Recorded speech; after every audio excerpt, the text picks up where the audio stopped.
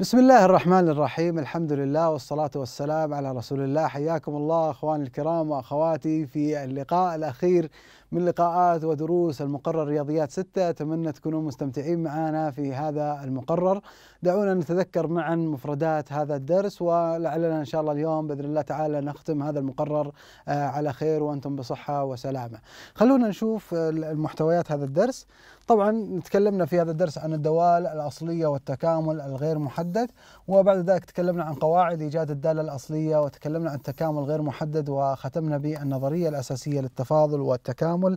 تبقى لدينا فقط اللي هو المثالين رقم خمسة وستة من هذا الدرس فلعلنا نراجع يعني بشكل سريع الشيء اللي إحنا تعلمناه. قلنا الدالة الأصلية هي أني أنا أروح أعطيك المشتقة يكون عندك دالة وبعدين أعطيك أنا المشتقة.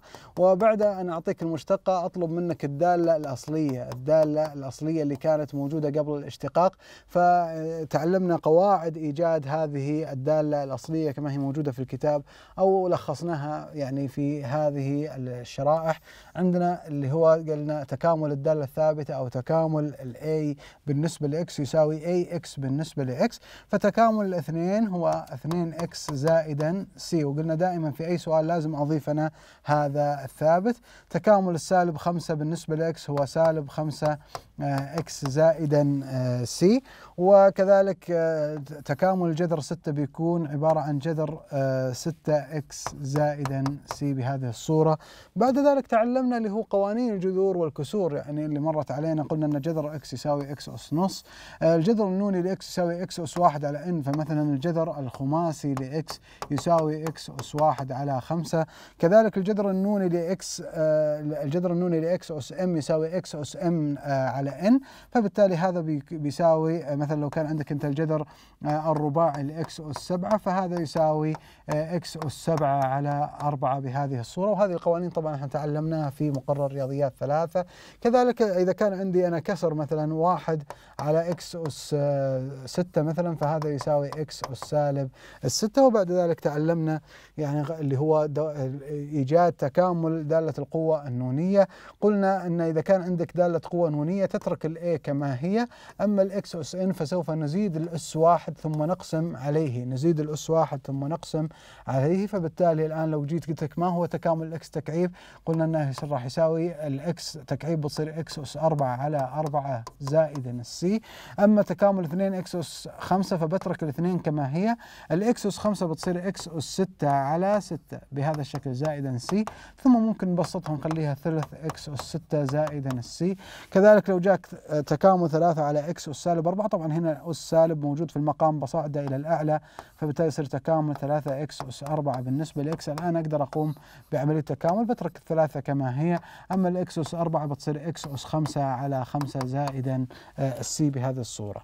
كذلك لو كان عندك اللي هو دالة تكامل الجذر لاكس فتكامل الجذر لاكس يساوي طبعا الجذر لاكس يساوي إكس أس نص. بالنسبة لاكس فالآن عندما أريد إيجاد اللي هو ناتج التكامل سوف أزيد الأس واحد فأقول X أس نص زائدا واحد على النص زائدا واحد زائدا ال C طبعا حيعطيك الجواب يكون X أس ثلاثة على اثنين على ثلاثة على اثنين زائدا ال C ممكن أنا أرتب هذا الحل يعني بطريقة أخرى وقلنا لازم أصير أنا عارف اللي هو طريقة الحل فمقام المقام يصعد إلى البسط وثلاثة تكون في المقام ويكون عندك هنا الجذر التربيعي لإكس تكعيب طبعا زائدا السي بهذه الصورة.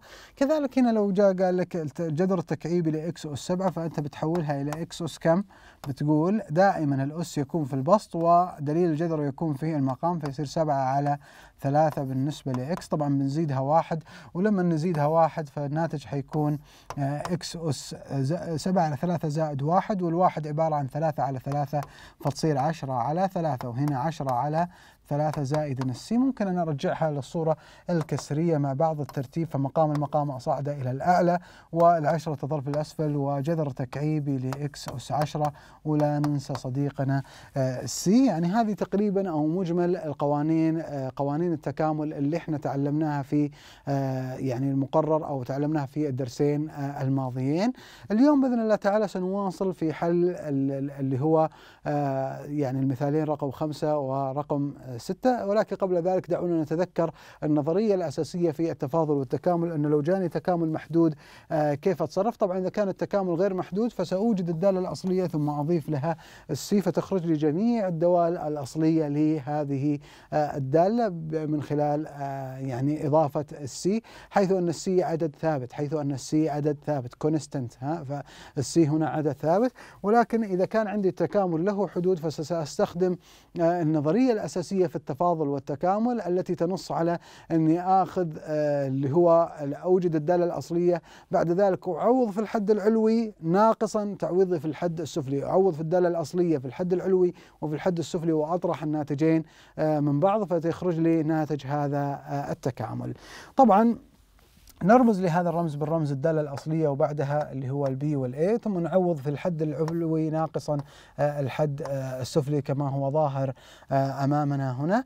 طبعا يعني في بعض الكتب ترمز أيضا للتكامل المحدود بهذا الشكل. يعني تكتب لك من A إلى B وفي كتب تكتبها بهذا الشكل F ل X كذا من A إلى B يعني على شكل خط أو على شكل قوس مغلق يعني بهذا الشكل. كلها تعني يعني تكامل محدود وتعطيني حدود التكامل اللي هي من A إلى ال B كلها راح نعوض فيها في الحد العلوي اللي هو ال B ناقصا الحد السفلي اللي هو آه، ال A خلونا نشوف نبدأ في المثال رقم خمسة. لاحظ في المثال رقم خمسة أعطاني نفس الدالة موجودة هنا وموجودة هنا ولكن هنا أعطاني تكامل غير محدود وهنا تكامل محدود. فإحنا قلنا أن دائما في عمليات التكامل أيها الأخوة الكرام دائما عندما أقوم بإجراء تكامل فأنا إذا كان ما في حدود أضع C إذا ما كان في حدود أضع ال C يعني كأن زي ما قلنا تجي تنادي شخص مثلا معين أو تخاطب شخص تقول المكرم فلان فلاني سلمه الله. لازم تكتب C ها اللي هو سلمه الله.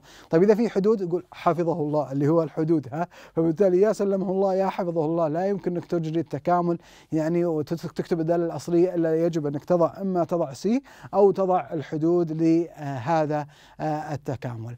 يلا خلونا نشوف كيف نوجد هذا التكامل الآن سواء بالفقرة A اللي بدون حدود أو الفقرة B اللي فيها حدود. يلا نسمي بسم الله.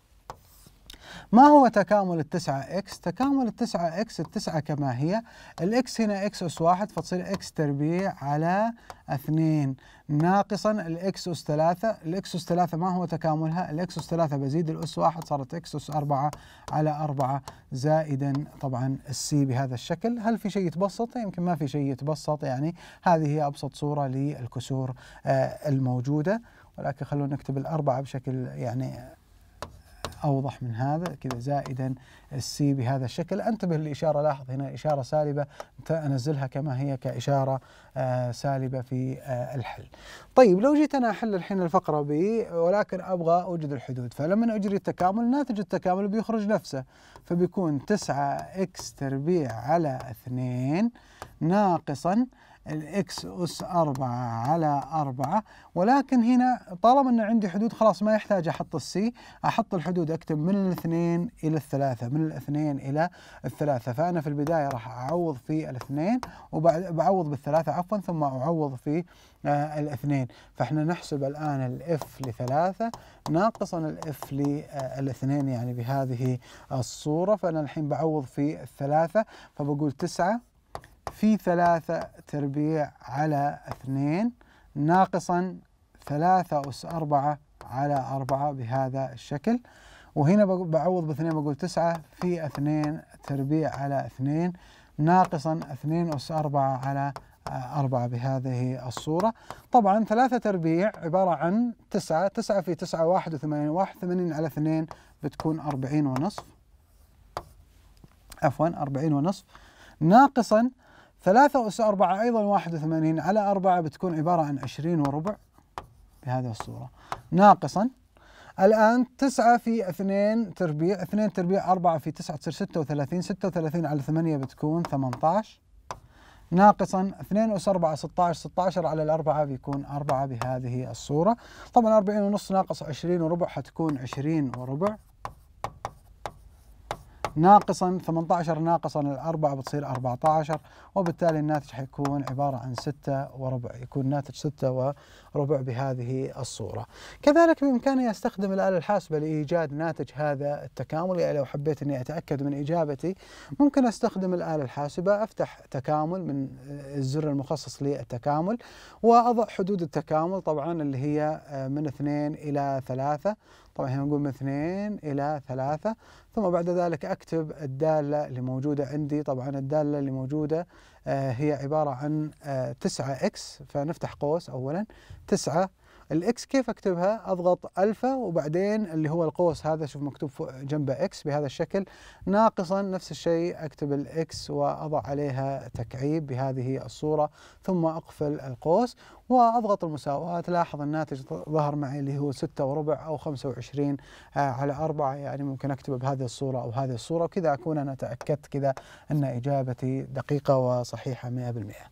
لو جينا حبينا نحل تحقق من فهمك كذلك آه لاحظ هنا في الفقرة خمسة اي تكامل غير محدود فبالتالي راح آه أقوم بحساب التكامل الآن. الستة بتركها كما هي. ال X بتصير X أس ثلاثة على ثلاثة زائدا ثمانية كما هي. ال X هنا أس واحد صارت تربيع على اثنين ناقصا الثلاثة دالة آه، دالة ثابتة فبالتالي أضيف لها ال X ولا أنسى صديقنا ال C. طبعا هنا تحتاج شوية اختصارات بس الستة على ثلاثة بتصير اثنين X تكعيب زائدا ثمانية على اثنين اللي هي بتعطيك أربعة X تربيع ناقصا ثلاثة X زائدا ال C. فلاحظنا هنا طالما أن التكامل هنا تكامل آه، غير محدود فبالتالي آه، سأقوم بوضع ال C سأقوم بوضع ال C. ولكن في الفقرة الثانية لاحظ أن التكامل محدود أو الفقرة 5 B حتكون تكامل محدود وبالتالي لا يحت... ما يحتاج أني أحط ال C وإنما أضع مباشرة الحدود لأنك حتى لو حطيت ال C راح تشيل ال C مع ال C أو ال C بيروح مع ال C من الطرفين وبالتالي لأني أنا بعوض في الحد العلوي ويكون في C وبعوض في الحد السفلي وبيكون في C فال C تروح مع آه، ال C بهذه الصورة. خلونا نسمي بسم الله ونوجد هذا التكامل. يلا. بقول الآن تكامل السالب X أس 4 هو سالب X أس 5 على 5 بهذا الشكل زائدا 8 X أس 4 على 4 ناقصا 24 X أس 3 على 3 زائدا 30 X تربيع على 2 ناقصا 4 X طبعا هذه بتكون محصورة بين بين الواحد والثلاثة بين الواحد والثلاثة. نحتاج نرتبها شوية. فنقول هنا سالب خمس آه، X أس 5 زائدا 2 X أس 4 ناقصا 8 آه، X تكعيب. يعني اختصارات فقط 15 X تربيع ناقصا 4 X محصورة بين الواحد والثلاثة بنضطر نعوض في الثلاثة أولا. فبقول سالب خمس في ثلاثة أس خمسة زائدا آه، اثنين في ثلاثة أس أربعة ناقصا ثمانية في ثلاثة أس ثلاثة بهذه الصورة زائدا خمسة عشر في ثلاثة تربيع ناقصا أربعة في ثلاثة. إذا هذا فقط التعويض في ثلاثة هذا فقط التعويض في ثلاثة. الآن بعوض أيضا في الواحد فبقول ناقصا. لما نعوض في الواحد سالب خمس في واحد فيصير سالب خمس بهذا الشكل. زائدا اثنين لأن التعويض في واحد أسهل شوية ناقصا ثمانية ربما نحتاج نمسح الخط هذا الفاصل. يعني شوية ناخذ شوية من مساحة السؤال المجاور لأن السؤال شوية طويل. فبالتالي نقول هنا ناقص ثمانية وزائدا خمسة عشر بهذا الشكل ناقصا أربعة. إذا هذا هو التعويض في الواحد. طبعا الحسابات هنا شوية تصعب يعني علينا فلا يمنع أن أنا أستخدم الآلة الحاسبة بس خلينا ناخذها للجهة الثانية حتى نشوف المعادلة الموجودة. فأنا بقول أبغى سالب خمس مثلا. واحد على خمسة آه، ضرب اللي هو اثنين ثلاثة أس خمسة بهذه الصورة. زائدا اثنين ضرب ثلاثة أس أربعة.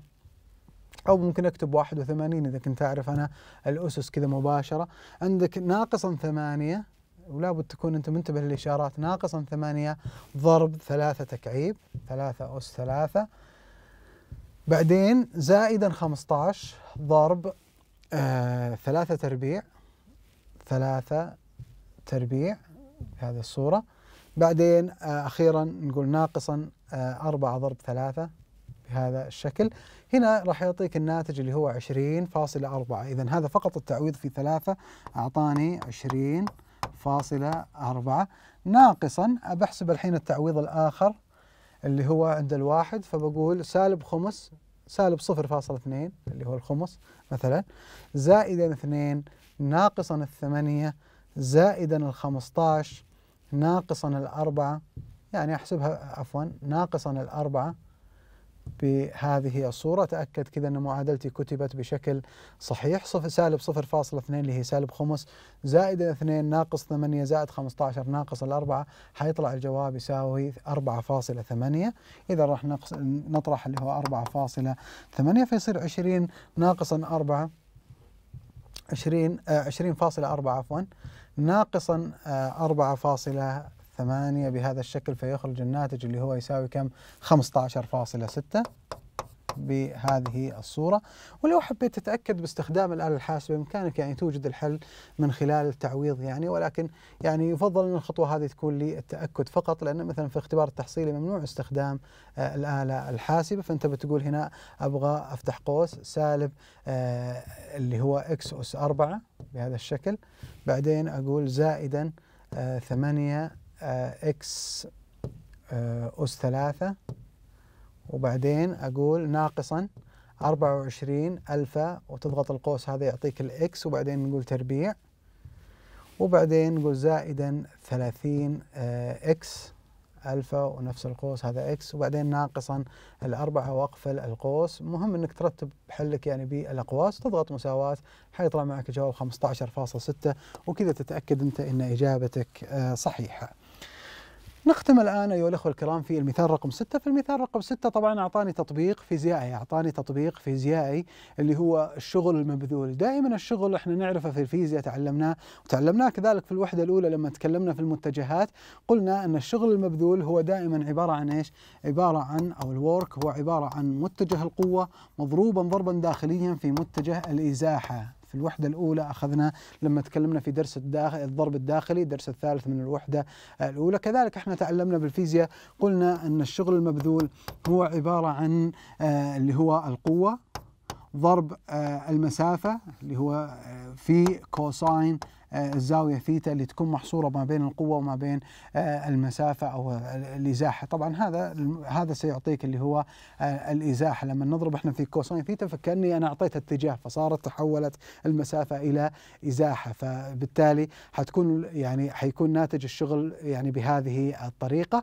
الآن سنتعلم طريقة أخرى أيضا لحساب الشغل المبذول من خلال التكامل من خلال التكامل. طبعا هنا لاحظ معي راح يعطيك تكامل من رقم إلى رقم. هذا الرقم إلى رقم هذه تعطيني الإزاحة هذه تمثل الإزاحة وهذه تمثل القوة يعني بهذه الصورة. فبالتالي إذا أردت أني أحسب الآن اللي هو الشغل المبذول فبالتالي سأوجد ناتج التكامل فسأقول أن الورك يساوي التكامل من صفر إلى نصف ل 360 X في هذه الدالة طبعا بالنسبة ل X الآن أجري التكامل فلما أجري التكامل 360 X بتصير 360 X تربيع على 2 من طبعا من صفر إلى آه، النصف. طبعا حيكون الناتج يساوي كم؟ حيساوي 180 آه، X تربيع من الصفر إلى النصف. تكتب النصف على شكل كسر أو على شكل عدد عشري ما عندك مشكلة. الآن بعوض في النص وبعدين بعوض في الصفر. لما أعوض في النص نص تربيع ربع ربع ضرب ال 180 بيكون 45 ولما نعوض بصفر بيعطيني صفر فبالتالي حيكون الجواب عبارة عن 45 جول بهذه الصورة. أوجدت الحل ولو حبيت في تحقق من فهمك أيضا أعطاني نفس المسائل. فبالتالي بقول هنا من صفر إلى 0.7 أريد أجري التكامل. فأقول أن الناتج التكامل هو 476 إكس تربيع على 2 من الصفر إلى 0.7 بهذه الصورة. 476 على 2 بتكون 208 وثلاثين ميتين وثمانية وثلاثين إكس تربيع من الصفر إلى الصفر فاصلة سبعة. الآن سأعوض في الصفر فاصلة سبعة ثم أعوض في الصفر. طبعا لما تعوض في الصفر أكيد الناتج حيطلع صفر ولكن أنا أبغى أعوض الحين في الصفر فاصلة سبعة بس خلينا ناخذ الآلة الحاسبة هنا. ويلا نقول 238 ضرب 0.7 تربيع في هذه الصورة وبالتالي حيخرج معك الجواب اللي هو يساوي 116.62 116 116 فاصلة نكتبها بشكل أفضل 116.62 وبالتالي الناتج حيطلع معك 116.62 جول بهذا الشكل. ويعني آه، تبقى لدينا أيضا الفقرة 6 بي اللي هي عبارة عن أيضا تكامل صفر من واحد إلى واحد فاصلة آه، أربعة. وبالتالي سنقول الآن أن ناتج التكامل بيكون 512 إكس تربيع على 2 من صفر إلى واحد فاصلة آه، أربعة. وبالتالي سنقول الآن أن هذا بيعطيني 256 إكس تربيع من صفر إلى واحد فاصلة أربعة. طبعا سنقوم بالتعويض في فاصلة أربعة. أما التعويض في الصفر فهو معروف سلفا لأن صفر تربيع صفر ضرب 256 يظل صفر وبالتالي بنقول 256 ضرب واحد فاصلة أربعة. التربيع بهذا الشكل وبالتالي الناتج حيخرج معك 501.76 501 فاصلة ستة وسبعين. إذا راح نقول هنا خمسمية واحد خمسمية واحد فاصلة ستة وسبعين. بهذه الصورة والوحدة ستكون بالجول. وبذلك أيها الأخوة الكرام يعني نكون بحمد الله تعالى أنهينا درسنا الأخير من دروس هذه الوحدة الجميلة والمقرر الجميل حقيقة مقرر رياضيات ستة وإن شاء الله تكون ختامها مسك للجميع. تعلمنا الدوال الأصلية والتكامل غير محدد عرفنا القواعد قواعد الدالة الثابتة وقاعدة الدالة النونية. تكلمنا كذلك عن التكامل الغير محدد وقلنا إذا كان عندي تكامل غير محدد لازم أقول في الأخير إيش؟ أقول سلمه الله لازم أضيف إيش؟ لازم أضيف السي. ثم بعد ذلك تعلمنا اللي هو النظرية الأساسية في التفاضل والتكامل أنه إذا كان لديك تكامل له حدود فبالتالي نعوض في الحد العلوي اللي هو الاف لبي ناقصا نعوض الدالة الأصلية كذلك في الحد السفلي وبالتالي يخرج لي ناتج آه، التكامل. وختمنا يعني في الدروس السابقة بمجموعة من الأسئلة كتقويمات لفهمنا. في الختام يعني نشكركم حقيقة لحسن المتابعة على مدار الفصل الدراسي. أتمنى إن شاء الله أن نكون وفقنا في تقديم هذا المقرر بصورة مبسطة للجميع وأنكم تكونوا استمتعتم واستفدتم يعني من دروس هذا المقرر.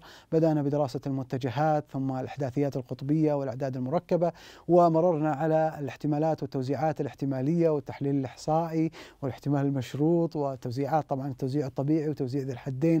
وختمنا بهذه الوحدة اللي يعني انقسمت إلى ثلاثة موضوعات رئيسية النهايات والاشتقاق والتكامل. في الختام لا يسعني حقيقة أن أتقدم بالشكر الجزيل لكم أعزائي المشاهدين والمشاهدات على متابعتكم وعلى الدائمة لدروسنا على قناة عين. كما لا يس... كما يعني أتقدم بالشكر الجزيل لمن ساعدني في إخراج المقرر بهذه الصورة آه، الأخوة المشرفين التربويين الأستاذ محمد آه، آل خراش والأستاذ ناصر الشهراني. كذلك فرق التصوير والإخراج حقيقة اللي يعني قدموا جهود مشكورة من خلف الكاميرا أو خلف الشاشات أو من وراء الكواليس. أتمنى لهم دائما التوفيق وأتقدم لهم بالشكر الجزيل لأنهم قدموا لي حقيقة الدعم والمساندة في إخراج هذا المقرر بهذه الصورة. في الختام أتمنى لكم دائما مستقبلا مشرقا وإن شاء الله يكون تخرجكم من المرحلة الثانوية بداية انطلاقة آه، نحو الأفضل. بإذن الله تعالى ويكون مستقبلكم دائما مزهر وتكونون آه، لبنات صالحة في بناء آه، وطننا الحبيب المملكة العربية السعودية. هذا الوطن الذي يستحق مننا الكثير حقيقة أن نقدم أنفسنا ونقدم علمنا ونقدم أفكارنا ونقدم ما تعلمناه ونبذل في في يعني في شأن هذا الوطن الغالي والنفيس حقيقة من أوقاتنا من أموالنا من آه، كل ما نستطيع حقيقة لرفعة آه، هذا الوطن. أتمنى دائما أن تكونوا في أفضل حال. أشكركم ويعني بإذن الله تعالى نلقاكم دائما وأنتم بصحة وسلامة. دمتم في رعاية الله والسلام عليكم ورحمة الله وبركاته.